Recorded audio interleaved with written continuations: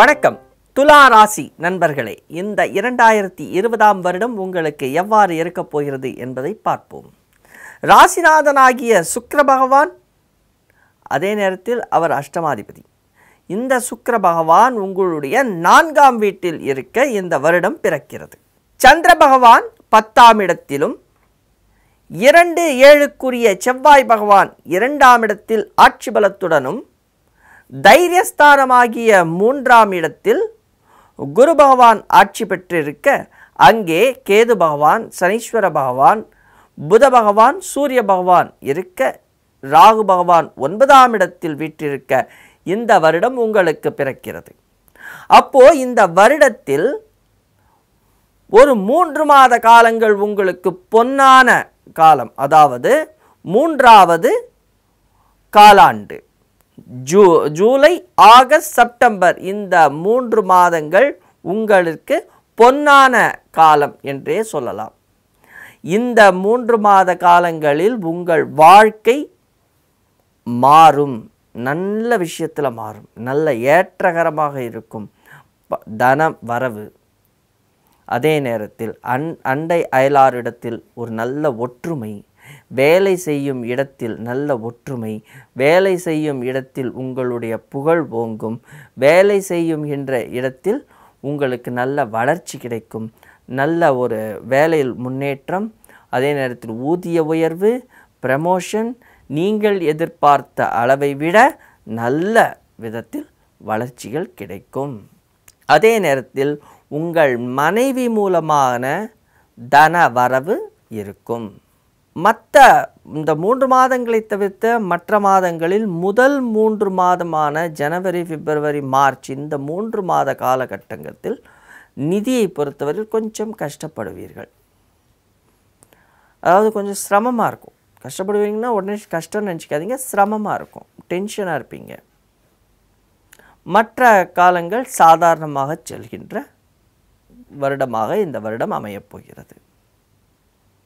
வேலை தொழிலை பொறுத்தவரையில் அந்த இ- மூன்றாவது மூன்று மாதங்களான ஜூலை ஆகஸ்ட் செப்டம்பர் மாதம் உங்களுக்கு வேலையில் முன்னேற்றம் இருக்கும். ஏன்னா அப்போது உங்களுக்கு அதிகமாக சுறுசுறுப்பு வந்துடும் வேலையில் இன்னும் நல்ல ஈடுபாடு இருக்கும். நல்ல வேலை செய்வீர்கள். திறன்பட வேலை செய்வீர்கள். இதுதான் முக்கியமான விஷயம். அப்போது உங்களுடைய சக ஊழியர்கள் உங்களை பாராட்டுவார்கள். உங்கள் மேலதிகாரிகளிடமிருந்து உங்களுக்கு பாராட்டுகள் கிடைக்கும். அப்போ உங்களுடைய ஊதிய உயர்வு கிடைக்கும். புதிய வேலை கிடைப்பதற்கு நல்ல வாய்ப்புகள் காதல் திருமணத்தை பொறுத்தவரையில் வீட்டை பொறுத்த வரைக்கும் சுமாராகத்தான் இருக்கும். கணவன் மனைவியிடையே பிணக்குகள் இருக்கும். அதை நீங்கள் வந்து சமாளிக்கிறதுக்கு சாந்தமாக போனாலே போதும். பார்வதி ஹோமம் செய்யுங்க. அது வந்து உங்களுக்கு ஒரு சந்தோஷத்தை தரும். மூன்று மாத காலகட்டத்தில் நீங்கள் மற்ற காலகட்டத்தில் விட இந்த மூன்றாம் மூன்று மாதம் நம்ம சொல்கிற ஜூலை ஆகஸ்ட் செப்டம்பர் இந்த மாதத்தில் நீங்கள் மற்றது எல்லாத்தையும் நேர் பண்ணிக்கிறதுக்கு உங்களுக்கு ஒரு சரியான சமயமாக அது அமையும். நிதி நிலைமையை பொறுத்தவரையில் ஆரம்ப கட்டம் கொஞ்சம் கஷ்டமாக இருந்தாலும் அதுக்கப்புறம் போக போக நிலைமையை நீங்கள் சமாளிப்பீர்கள். உங்கள் தேவைக்கேற்ப பணம் உங்கள் பாக்கெட்டை நிரப்பும் மூன்று ஜூ ஜூலை ஆகஸ்ட் செப்டம்பர் மாதத்தில் வேலை செய்யும் இடத்திலிருந்து தாராளமாக உங்களுக்கு பணம் கிடைக்கும். உங்களுடைய கடனை அடைப்பீர்கள். அதே மாதிரி கடன் வாங்கி வெளியில் ஏதாவது ஒரு வேலை செய்யணும்னு நினச்சிட்டு இருந்தீங்கன்னா அந்த வேலை அந்த கடன் உங்களுக்கு கிடைக்கும். அந்த வேலை இனிதே நிறைவேறும். மாணவர்களை பொறுத்தவரையில் கவனமாக செயல்பட வேண்டிய தருணம்.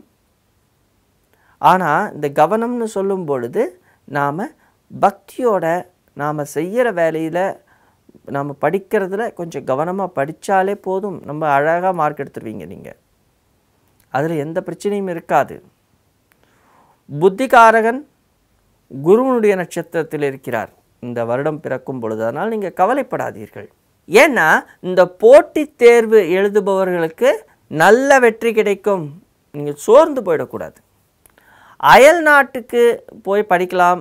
அந்த மாதிரியான எண்ணங்கள் வந்து சுமாரான வெற்றியை தான் தரும். அதில் மட்டும் நீங்கள் கொஞ்சம் கவனமாக இருந்துக்கோங்க. ஆரோக்கிய விஷயத்தில் கவலைப்படும்படியாக ஒன்றும் இல்லை. ஆரோக்கியம் சீர்படும். மூன்று மாத காலகட்டங்களிலேயே உங்களுக்கு நல்ல ஆரோக்கியத்தில் நல்ல முன்னேற்றம் இருக்கும்.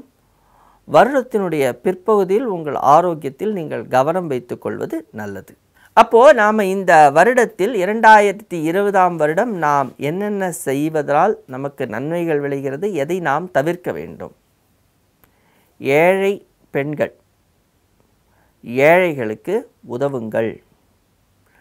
மாணவர்களுக்கு படிப்பதற்கு உபயோ உதவி செய்வது நல்லது. கொஞ்சம் சாத்வீகமான உணவுகளை உண்பது உங்களுக்கு ஏற்றத்தை தரும். உங்களுக்கு உடம்புலையும் எந்த விதமான பிரச்சனையும் வராது ஆரோக்கியத்திலும் எந்த விதமான கேடுகளையும் எடுத்துக்கொண்டு வராது.